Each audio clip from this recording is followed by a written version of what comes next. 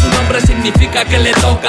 Plástico en su boca, cuatro guantes se tocan. Llegar aquí no ha sido fácil, él es un ágil, púgil que parece dócil, pero no es frágil. Preparado durante años, piernas, puños y en la enfermería que bueno.